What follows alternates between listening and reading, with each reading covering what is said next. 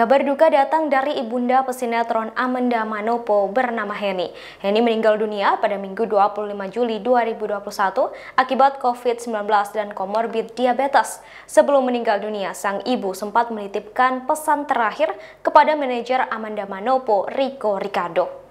Riko mengungkapkan pesan terakhir Ibunda Amanda Manopo sambil menangis. Wajahnya tampak mulai memerah saat mulai ditanyai soal pesan terakhir mendiang sebelum mengembuskan napas terakhirnya.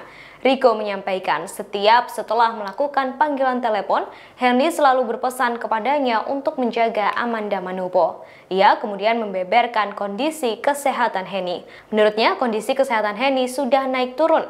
Beberapa saat sebelum meninggal dunia, saturasi oksigen Henny terus menurun. Sementara itu, Amanda Manopo melalui Instagram Story sempat membagikan fotonya bersama mendiang berlatar hitam putih.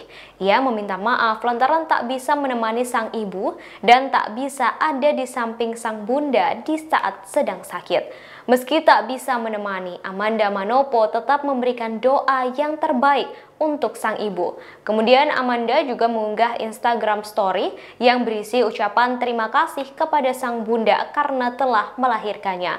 Ia juga berterima kasih sudah mendidiknya menjadi wanita yang sabar dan kuat.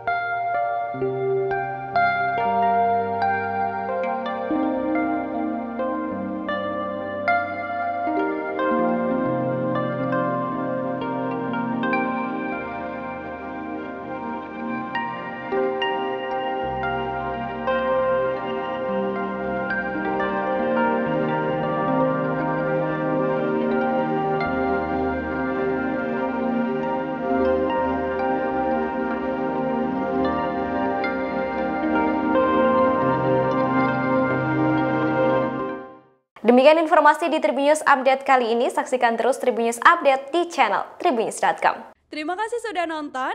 Jangan lupa like, subscribe, dan share ya.